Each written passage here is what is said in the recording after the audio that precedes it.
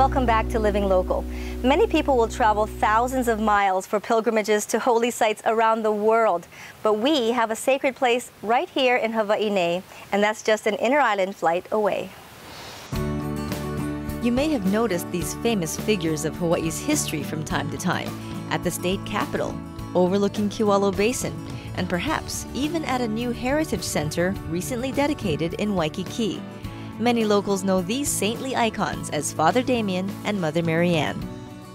We who live here in Hawaii are very blessed and very privileged to uh, be the heirs of the story of Father Damien and Mother Marianne, who served the poorest and the most needy among us. They gave up everything. They left home, their family, everything. And they went out, they went thousands, thousands of miles to help people they didn't even know. Growing up in Hawaii, we've all heard the amazing stories of their work with the lepers on Molokai.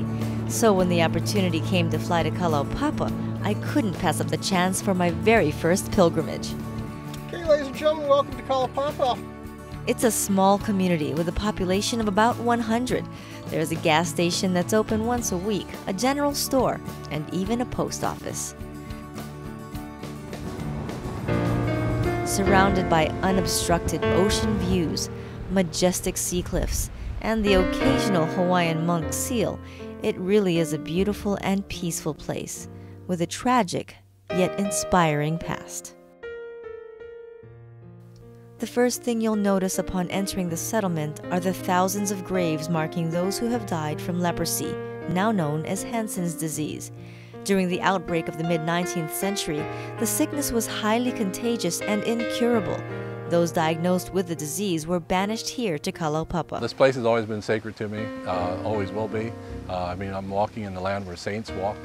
The history began in the mid-1800s with the arrival of the first patients uh, that were basically uh, dropped off here without really any supplies or anything. Damien got here in the 1860s. With the lack of understanding about leprosy, Many people felt that even touching them would, would uh, allow them to become lepers also. So they would literally unload them into the sea and many of them would have to find their way or through the waves to come to shore as well. I think for many of us to, to know that many children were put in that predicament and just to see how heart-wrenching it would have been for them, fear and everything else to come to this place and be um, banished or exiled for the rest of their lives.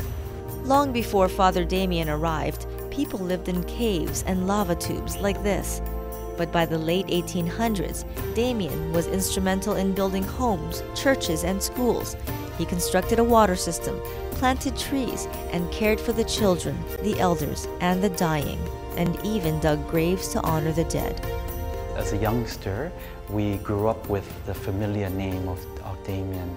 And I think more so for me was the fact that he really came and helped those who, especially our Hawaiian people, who came and really felt that they had no support system.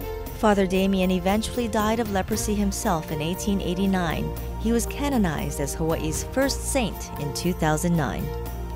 Father Damien's burial site has become a sacred place here in Kalaupapa. Visitors from around the world come to this exact spot to pray for a miracle. Many prayers for miracles have also been made here on the leeward side of the settlement at Blessed Mother Marianne's Memorial. She was the first woman missionary leader to care for Hansen's disease patients in Hawaii. At the urgent request of King Kalakaua and Queen Kapiolani, Marianne arrived in Honolulu in 1883 and served the lepers at the Kaka'ako Branch Hospital. Five years later, she moved her mission to Kalaupapa.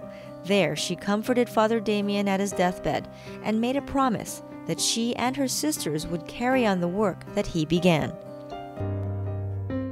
more I read about her, the more I pray to her. Um, I, I'm just amazed, totally amazed. Besides bringing professional hospital care and infection control, she brought a woman's touch to the town, fixing landscapes, sewing clothes, and celebrating local culture. It was to create a sense of community, of improving the quality of life, and treating everyone with dignity and respect. Marianne died peacefully at the age of 80 in 1918. She was beatified in 2005 and is one step away from being canonized a saint. Hawaii probably would be the only state in the United States that has two saints. Um, and coming from the same area, which is, um, you know, Kalaupapa Molokai, it really shows the essence of the importance um, of Kalaupapa and the patients that were there. Today, Kalaupapa is a National Historic Site and will be administered by the Department of Health until the last patient is gone. Residents are no longer forced to live here, they stay because they want to. Because it's just like my home. I've been there, you know, so many years now, and it's, it's my second home.